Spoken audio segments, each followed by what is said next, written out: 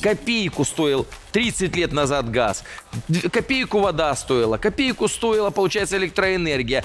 Почему сегодня мы не можем вернуться к плановой экономике, цикличной экономике?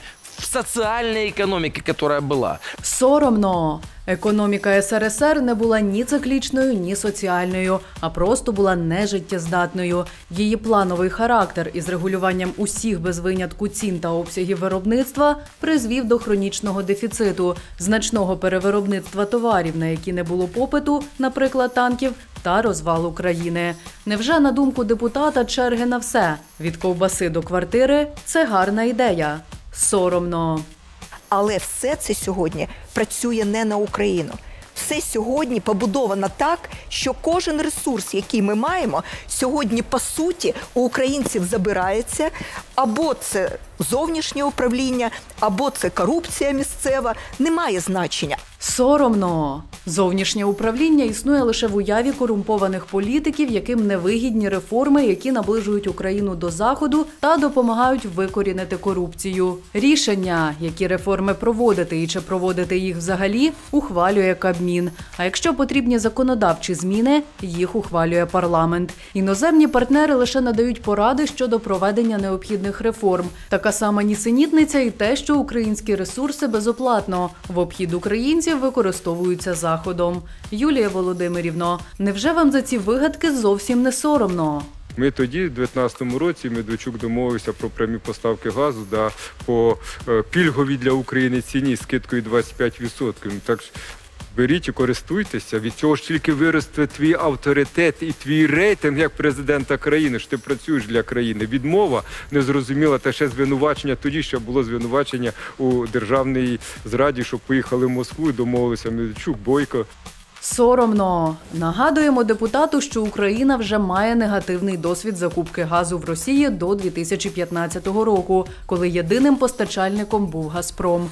Наприклад, харківські угоди, підписані Януковичем у 2010 році, обмінювали дешевий російський газ на продовження терміну перебування Чорноморського флоту в Криму до 2042 року. Проросійські політики від ОПЗЖ намагаються виправдати повернення до цього, адже їм не вигідно, щоб Україна економічно та політично інтегрувалася до західного світу. Соромно. У меня вопрос. А где годовой контракт, или 10-летний, или 15-летний контракт на поставку газу от, газа от «Газпрома»? Почему у Германии 15-летний контракт по фиксированной цене 270 долларов Соромно. По-перше, 270 доларів це середня ціна експорту російського газу для країн Європи, а не конкретно для Німеччини. По-друге, дивно порівнювати Україну та Німеччину так, ніби депутат забув, що російська армія не перебуває на території Німеччини та не захопила її території. Купуючи газ у Росії до 2015 року, Україна йшла на політичні поступки, фактично втрачаючи свій суверенітет та стаючи енергетично залежною від Москви. Пане Шуфричу, ви свою залежність від Москви хоча б трохи приховували.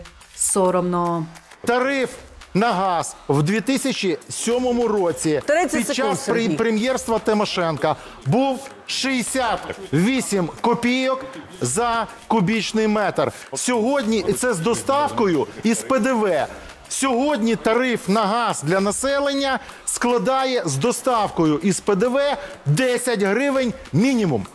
При Тимошенко 68 копійок, сьогодні 10 гривень. Ось вам вся різниця. Соромно.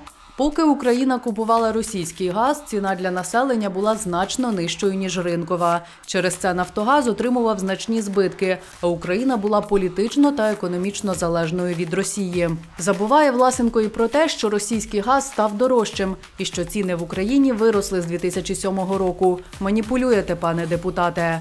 Соромно.